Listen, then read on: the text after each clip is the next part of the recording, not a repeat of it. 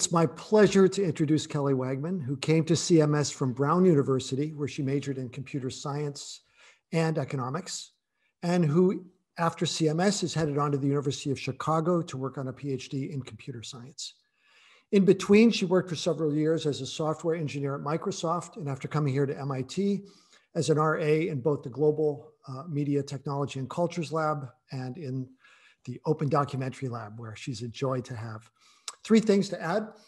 Kelly is uh, incredibly productive, has authored or co-authored four peer-reviewed papers and several more are in the pipeline. So um, second, our badly missed colleague, Lisa Parks is also ad advising uh, Kelly and we're both, Kelly and I, both grateful to her for her continued engagement.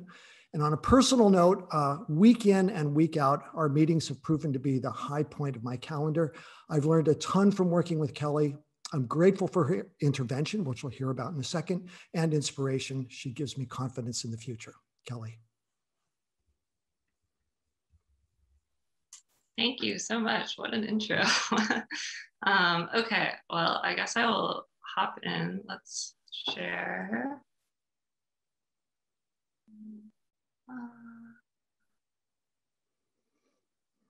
all right. Um, do people see my screen? Can someone just thumbs up? Yep. So, um, like Vivek said, my talk is titled Sex, Power, and Technology, a Relational Engineering Ethos as Feminist Utopia. Um, so actually, William covered this a little bit, but I wanted to just say that um, I am coming from a a particular vantage point that has really informed my research. So I identify as a white cisgender woman. I grew up in the US and I spent several years as a software engineer at big US tech companies. Um, I think that there are a lot of different ways to think about the tech industry. Uh, a lot of people think about this image at the top, you know, kind of a hacker alone in a basement. Um, before I got to college, I really thought it was more like the middle, like I was going to be building these kind of magical things. And when I got there, I realized it was actually more like the image on the bottom where, you know, guys stood around in hoodies fixing bugs. Um, this is a picture from the TV show Silicon Valley, which actually felt pretty accurate. And this is me with some of my teammates from a few years ago. So this project really came out of needing language to explain this experience that I had of being kind of one of the only women in my context and also like this mismatch between what I felt like the tech industry could be and what I actually experienced while I was there. So in tech, a lot of people ask what we can build, but it seems less common to ask what we should build. And this is the question that really underlies a lot of my research. Um, the word should brings with it moral and political questions that are hard to answer from within an engineering framework. So before looking at what we should build, I wanted to start by trying to understand what we are building. Um, I found that Silicon Valley and the tech cultures that are influenced by Silicon Valley have a particular way of thinking about the world. This has been sometimes called the Californian ideology, which was a term coined in 1995 by Barbrook and Cameron. And there are a number of good books on this topic. Here are just a few of them. So some of the main ideas from behind the Californian ideology are one, that it has this unique history that was born from a convergence of cultures in the second half of the 20th century, including hippie counterculture, libertarian ideology, um, funding from the government for World War II, and the idea of cybernetics. Um, there's also a turn from computers as actual women to um, computers as being mostly men because the work was originally deemed menial and then became thought of as something kind of difficult and complicated. Um, Nathan Ensmenger talks about this idea of extreme masculinity in the culture, for example, staying up all night to program something as kind of a show of strength. Um, it's very much built around capitalism, things like venture capital funding provide incentives to startups to maximize profit and scale. Um, there's an underlying logic of kind of rationalism where many products focus on emphasizing um, optimization, efficiency, productivity. And there are also strands of neoliberalism that um, emphasize the individual and um, apps that work for self-actualization, self-improvement. So there's been a lot of good work talking about why the Californian ideology is somewhat flawed. I think Roya's presentation did a good job talking about some of these. Um, so I'm not really interested in critiquing the existing state of the world. I'm more interested in trying to understand what would a different culture, a different ideology around creating technology look like. So before diving into that, I, want to talk about a few groups that are already trying to kind of think about how do we erode some of these ways of thinking. Um, I found that really the groups that are doing this are doing really important work that I really support, but often they're not quite fully helpful to designers who are looking for kind of a vision of what else they could be building. So there are diversity and inclusion organizations, which tend to focus on improved representation within the existing culture that are not typically working to actually change the culture. Tech activists um, use labor tactics to protest unethical technology and bad working conditions, particularly for contract workers. However, they often also don't provide kind of a vision of what to build. It's often here's what we should not be building. Um, academics are wonderful at critiquing the existing state of the world and provide a lot of really valuable insight, but this insight is often hard for people in engineering to understand and needs to be translated into something that's more generative. Art pieces um, actively build up ideas for new worlds using technology, but I think can be dismissed by people in engineering because they are seen as kind of one-off or not applicable to product development. And finally, participatory design, co-design, and other methodologies I have found really inspirational and have really influenced my work, but the methodology alone, despite providing a way for communities to build things together, doesn't again quite outline like what is the vision of the thing that should be built.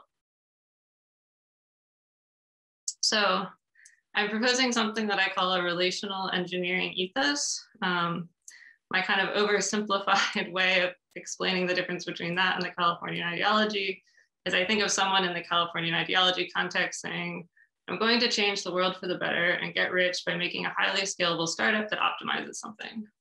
Whereas in the relational engineering ethos, we think about I can have lasting impact and develop lifelong friendships by considering the relationships formed throughout the entire life cycle of my technology and prioritizing caring relations over profit and scale. So I'm gonna unpack that a little bit.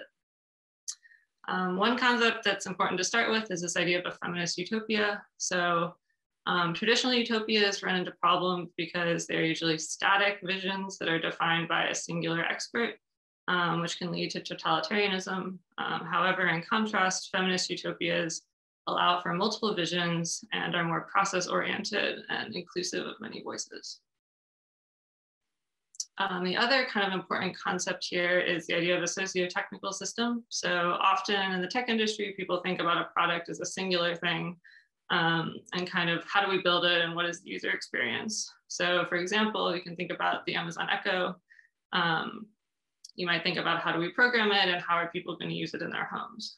But as Crawford and Joler show in this image, you can actually think about a technology as like a web of different socio and technical systems. So excuse me, we have um, on the left, like what are the minerals that have to be mined to create the object? What is the data processing and labeling that goes into creating the machine learning algorithms? And finally, once the thing is disposed of, how, how is it going to break down and how is that going to affect the environment? So we're shifting our thinking from thinking about the object as this singular artifact to thinking about it as this web um, embedded in a social system. So to come back to this idea of relational engineering, I'm proposing it as a feminist utopia because it isn't a singular vision, but more a way of framing the problem of building new technology. And I'm using the idea of a socio-technical, socio-technical system as a framework. Um, the ideas behind relational engineering aren't new. There are many books that kind of talk about this style of thinking, but the goal for me was to kind of understand how do we wrap up these ideas in a way that is makes sense to people in the design world and for people who probably aren't actually going to go read like Haraway on their own. So a few of the important concepts are emphasizing building caring relationships between humans and non-humans as opposed to building neutral artifacts, seeing interaction as situated within these messy socio-technical systems as opposed to a problem to be solved or optimized, considering technology as co-creating experience, so avoiding the human domination over the technical artifact, and holding space for two new technologies that are perhaps inefficient, meandering, sensual, not necessarily optimized. And there's a lot of feminist literature on these concepts of care, love, and joy, which I am not going to go into in depth right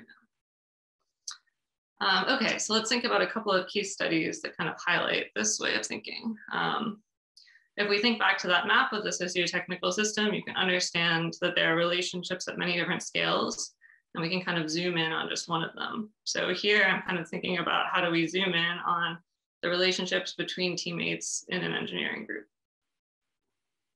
Um, so I wanted to understand what these relationships could look like in a culture that was not part of the dominant Silicon Valley culture. Um, so I did participant observation at a self-described feminist data science lab where I attended weekly meetings. And I also interviewed nine women and non-binary engineers from a range of universities and jobs to try to get a sense of what this alternative culture could look like.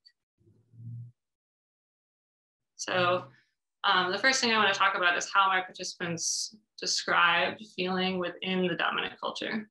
So this is a graduate student who said, I think a stereotypical technical university student is kind of a nerd, but is also someone who has a lot of privilege, but isn't very good at dealing with that privilege. After graduating, I would make the most money working in tech, but that kind of industry culture wouldn't make me happy anymore. Um, second, uh, undergraduate student I talked with who was in a class said, my partner was a dude with a fancy terminal with customized colors, and he's like telling me to type things. I'm just like, sorry, can you say that again? I probably made a mistake. And he got really impatient and I got stressed out. It made me feel very on edge and like maybe that I didn't have enough experience. But then later in class, we were working on the actual problem. And then he didn't know what was going on because he didn't do the reading. I do the reading. It's made me think we try a lot harder to feel like we belong and we still feel like we don't, even though we're more than qualified. So the important thing here is that both students describe feeling like they didn't fit into a culture, but they also talk about how they have the technical skills. So this is not a story of people not having the right skills. It's a story of people feeling like they don't fit into a particular culture. Um, another phrase that I heard in my fieldwork quite frequently was this idea of technical versus non-technical, where technical meant pertaining to math or code, whereas non-technical was kind of everything else the technical within this culture is very much masculinized and valorized. Um, and I noticed a phenomenon that I started calling technical peacocking, where my participants described, usually men, who would kind of show off their technical skills in a group as a display of mastery and kind of an attempt to be at the top of this hierarchy. Um, my participants all said they were not interested in engaging in this kind of behavior. And one said, guys are typically way more technically oriented. I've seen that in this capstone project. Women are like, oh, I'm not that technical, so I can work on outreach, slide templates, or graphics. So she goes on to talk about someone who's really excited about like the mechanics of sand. And she kind of realizes that that is really, you know, valued in this culture, but she herself doesn't quite get like why someone would want to be so excited about the mechanics of sand. Um, so we can see this kind of gendering and different kinds of labor that is valued differently within the culture. Um, so the point I want to make is that it is not my interviewees that needed to be changed or taught how to code better, but the culture that needed to be fixed. Um, I really like this quote from Stephanie Dinkins, who says, once we get to the table, either we're warriors or we come with all these assumptions already embedded. So she means that most marginalized people who survive in the tech industry are forced to become warriors in order to do so. And what I'm arguing is that basically people shouldn't be forced to do that. We should change the culture. So how do you do that exactly? Um, uh, there's actually a lot of literature on how so-called feminist groups actually end up being oppressive. So it's really important to focus on not the word feminist, but the practices and norms that I found within the group specifically. Um, so these are kind of the things that the group did that I thought made made the culture really welcoming and inclusive. Um, overall, the practices are relational, and the lab really focused on building um, strong and caring relations among members. So I'm just going to go through them kind of quickly. First, we have micro affirmations as opposed to microaggressions. One example is putting um, pronouns in Zoom names. Second, we have collective decision making and embracing ambiguity. So for example, the lab co-created a handbook that explicitly welcomed people from different identity groups and also really rewarded questioning more than kind of being right. So there was no showing off of technical knowledge. Um, valuing social intelligence and lived experience meant that people could bring their whole selves to the lab. Um, they would take time to introduce anyone new, even if it meant, you know, reintroducing people that had already been introduced, and proactively engaged in conversations about social justice, researcher trauma, and current events in order to check in on members and see how to support them. Finally, the lab really emphasized experimentation and joy as important parts of the research process. So whereas in some groups, it may be that you're totally focused on productivity and producing like a number of papers or some kind of quantitative output, things like produce, producing zines as research outputs um, to kind of highlight how members could be involved in ways that they were really excited about um, was important. So this kind of stands in contrast to some of the experiences people had in the dominant engineering space. So I liked this quote from the lab PI who I interviewed who said, people do their best work when they feel supported or trusted. Sort of like you need IT infrastructure, you need emotional infrastructure in order to be creative. I think it is very inhibiting to be in a toxic environment and you're told you're supposed to be creative, but you're always being told that you don't belong in various ways. So I kind of wanted to end this case study with a story that highlights this kind of relation building in the engineering team not only leads to more diverse and inclusive teams, but also changes the kinds of technologies that get built. So I met a sophomore undergraduate at a hackathon I attended where she was introduced to the idea of data feminism. When I interviewed her, she told me she didn't think she would take any more computer science classes because she had had such a bad experience culture-wise. Um, but a few days after our interview, she emailed me to say that she had read the Data Feminism book and that she had reflected on her time at the hackathon and she had a couple of ideas. Um, she said that the, the book really, quote, deeply ingrained, uh, helped her understand deeply ingrained power imbalances within our data and technology systems. And then she goes on to outline two different tech projects that she wants to make based on her interest in raising awareness about disordered eating it really struck me that here was someone who went from basically giving up on working in tech to saying she wanted to build out these two really wonderful projects. Um, and it was just so clear that this is not a story of a pipeline problem where she just needed to get better at coding or be more confident. It was a story of finding an alternative to the dominant way of thinking about technology that she encountered in her classes and feeling validated in her ideas. So I think if we want people like her to be leading our tech efforts in the future, we need to create a tech culture that values relationship building over things like technical peacock.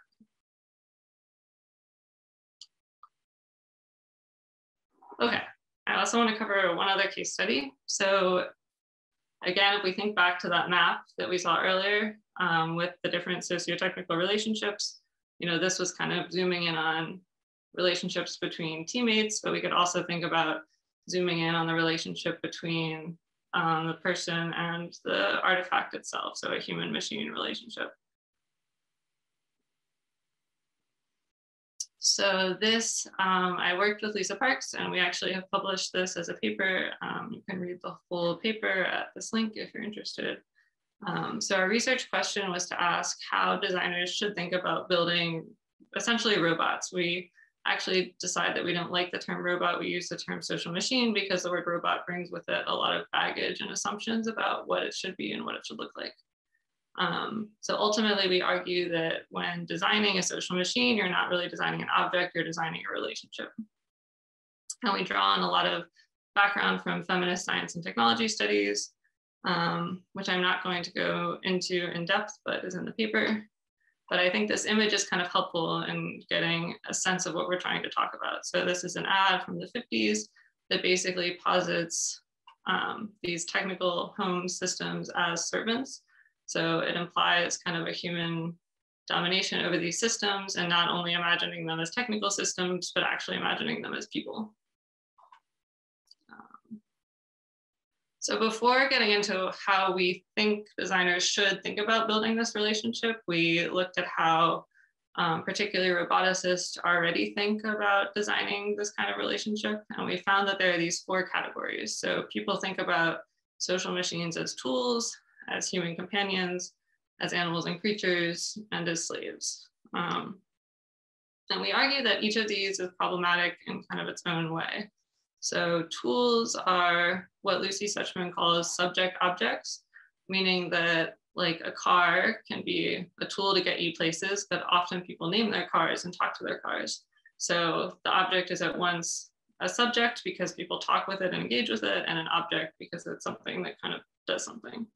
But you you can't you can't deny the fact that people treat objects as subjects some of the time. Um, in terms of humanoid machines, Suchman outlines the problem in creating what she calls ideal organisms, so people tend to reproduce normative standards and ideals when they create something that looks like something they already know about. So if you look at humanoid robots, many of them um, also kind of reproduce these beauty standards that we see around the world. Um, animals and creatures can have some of that same problem with the becoming an idealized organism, but um, in addition, we have a long history of dominating animals and kind of a fraught, there's a fraught human animal relationship that we don't really want to replicate when we move to machines. Um, and finally, we think about slaves as essentially tools that have been made to act like people, um, but that the human has like full domination over. And here we argue that allowing this kind of relation of domination to exist, where someone can have full control over this human like object, is just like fundamentally flawed and not something that we should allow. So our proposal is that social machines should be approached as what we call um, a gentle and equitable others, meaning that we recognize that the social machine has agency. Um, we think about it as existing in an equitable relationship with a human, and we also think of it as an other to humans and, animals. So instead of trying to, to map it onto one of these existing categories, just accept that it's like a new thing. And we run in these two, these kind of two problems when you actually try to build something based on that definition um, that we pose as challenges to the design community. So first we think about non-anthropomorphic figuration, where how do you make something that doesn't replicate um, human ways of being and doing. Um, this is actually kind of hard because like I said, we talk to our cars and I wouldn't really consider the car to be anthropomorphic. So it's kind of an open question whether it's possible to create something that's fully non-anthropomorphic. But we like this example by Kelly Dobson, who's an artist who made a blender where instead of the blender is voice activated, and instead of talking to it in um, kind of human speech, she growls at it in blender language, and then the blender responds and turns on. So it's kind of the human becoming like the machine instead of the machine becoming like the human. Um, our other design challenge is mutuality. So we talked about this idea of an equal relationship between humans and machines. It's also not clear whether that's possible because um, humans make machines. So can, can you get rid of that power imbalance is not, not totally clear. But this piece by Lauren Lee McCarthy really starts to investigate that, where she acts as a digital assistant in someone's home for about a week. So you actually have a human on both sides where there's the person in the home and then she's acting out the, the role of the digital assistant. And they have to kind of navigate this relationship and understand what is an appropriate way to be around each other. And it's hard and it's awkward and it, it doesn't really solve the problem but it highlights kind of what a hard problem it is to kind of think about how one would design that relationship.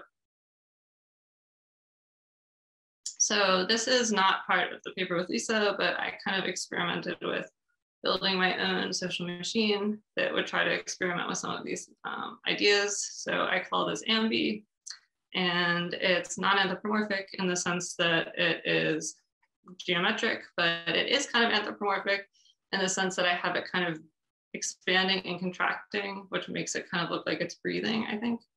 Um, it has some agency in the sense that it, if you're not clicking on it, it will kind of move around on its own and leave a trail, but the human can also interact with it by clicking and moving it around. So in a sense, you and the machine are co-creating this image.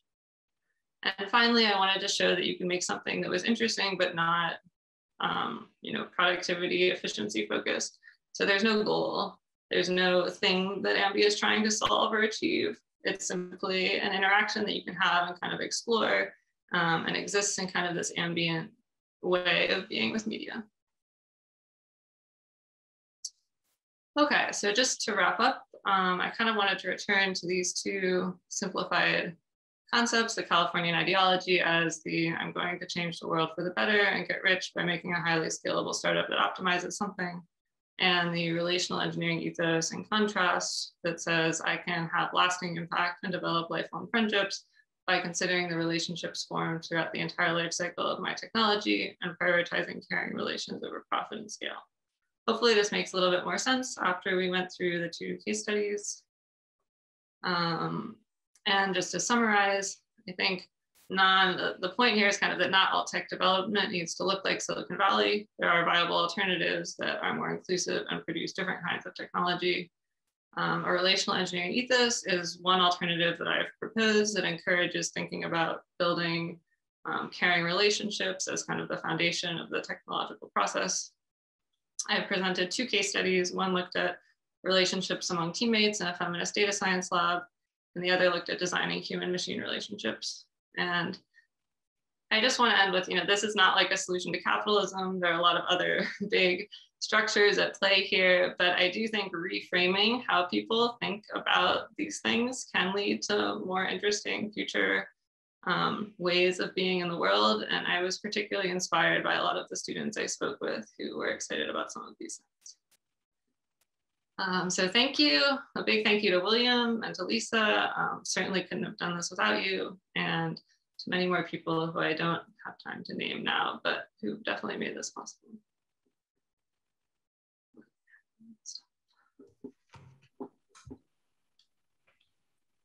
Thanks so much, Kelly. Um, and now I'm going to open open to questions.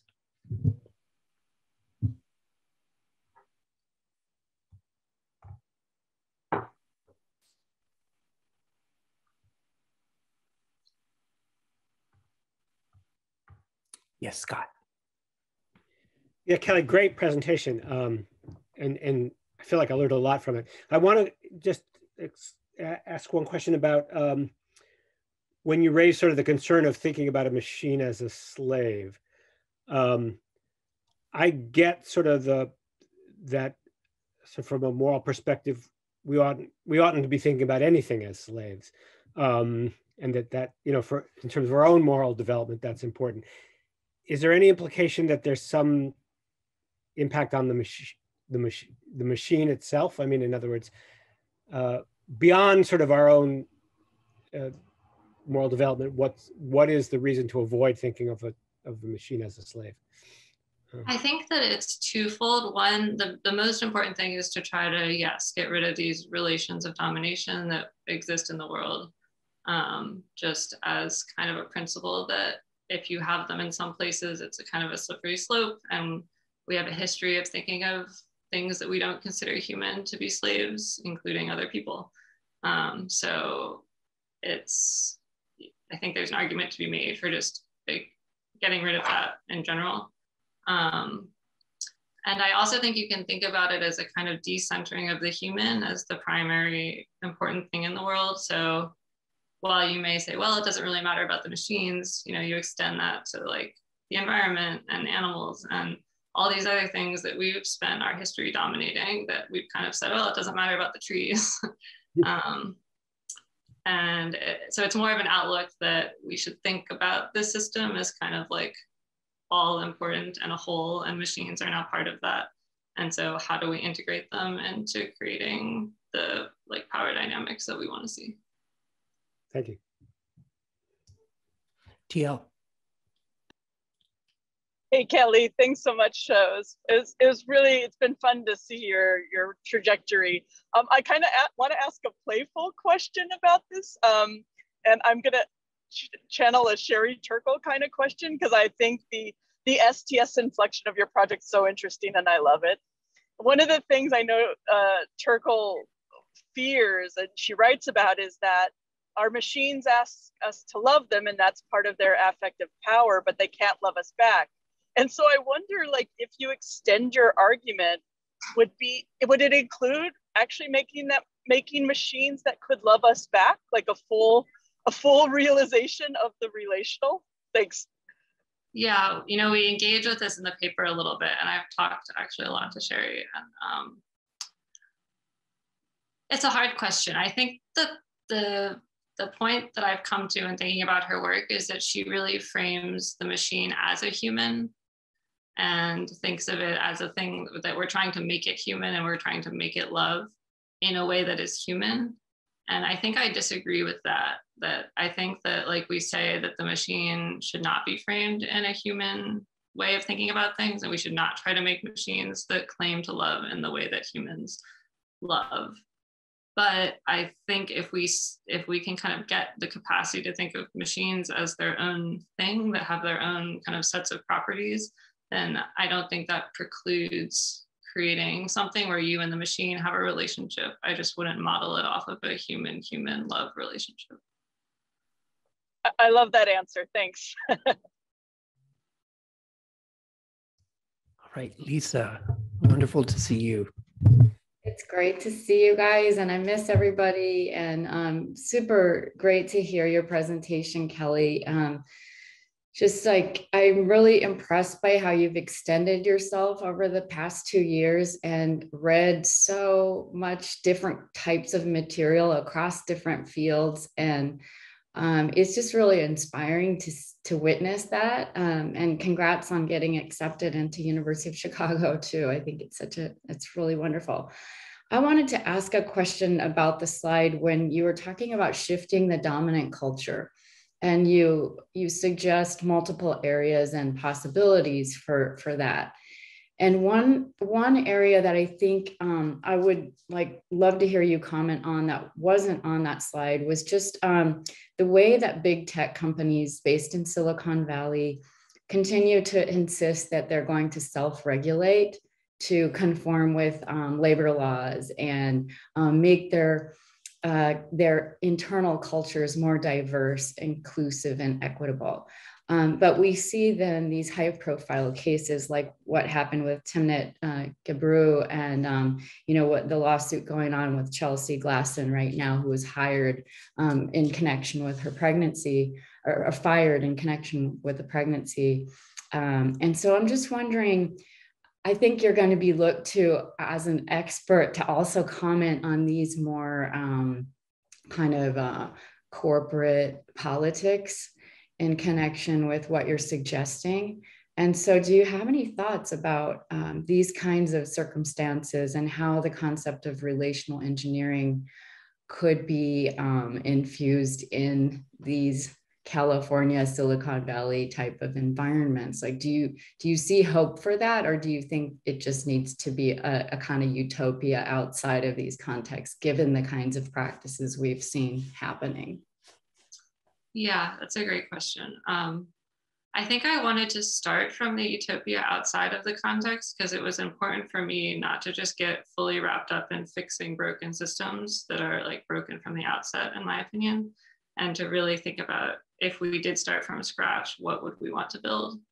Um, however, I think you're right that this is kind of the state of the world and a lot of these systems already exist. And the thing that I like about this kind of relational engineering mindset, I think of it as kind of a mindset, is that I think any individual engineer could kind of apply it in a lot of different ways to their own work. You know, I could think of like individual teams at some of these big companies trying to kind of learn from this feminist data science lab and could totally you know apply some of these principles and ways of existing at the team level. I think individual engineers working on projects could start to try to think about this way of thinking um, in their own projects. And maybe that it's not totalizing or that it really fixes all of the culture but that if you start fixing little things at different scales especially as i'm i really am so hopeful about like the next generation of students who are getting exposed to some of these other ways of thinking you know once they enter the workforce it, it, it's not going to fix it like i said it's not going to fix capitalism but you get enough people planted and i think that there can be actual change.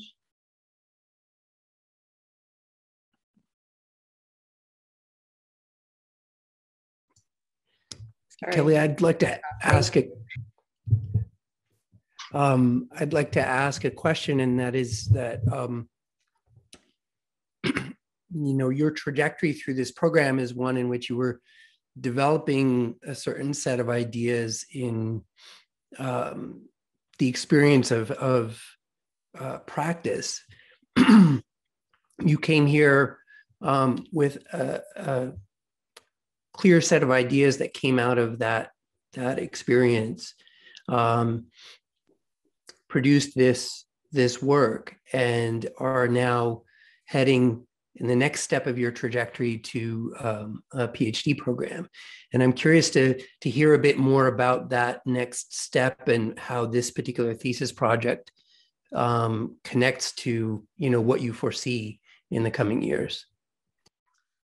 Yeah, I think that part of going to a PhD program in computer science was motivated by the fact that I feel like I can have more impact and more change from within that kind of vantage point than from with outside from without and I, I kind of think of myself as like a translator i feel like there is so much great critical work but i think it is just really inaccessible for people with an engineering background for the most part. And so I really wanted to be able to like pull it and try to make it make sense. Um, and yeah, I mean, I, I, think I definitely fit the kind of warrior mold where I was like, I'm going to get through this because I want to prove that I can do it. And I don't know, it, it, it's like, what are my chances of actually trying to change the whole culture? Probably slim, but you know, if I could do something even at the department level in one school, like that would make me feel pretty good. Thanks. And we have one question from the from the chat from Hannah Varner. What are your current uh, dissemination plans for this framework? Academic articles, popular scientific communication, etc. Thanks, Hannah. uh, it's a good question. Um, I yes, I would like to write for more of like an undergraduate level audience and try to figure out how to disseminate, particularly to um, I think like undergraduate women and marginalized groups in engineering, because I think so much of it for me was understanding that that this is a big structural problem, that like I wasn't the problem, that I didn't need to conform to this way of thinking, that I could, that like other ways of thinking were valid but it's hard to know that I think sometimes when you're very overwhelmed by a particular way of thinking. So yes, I'm not sure precisely what, but something along those lines.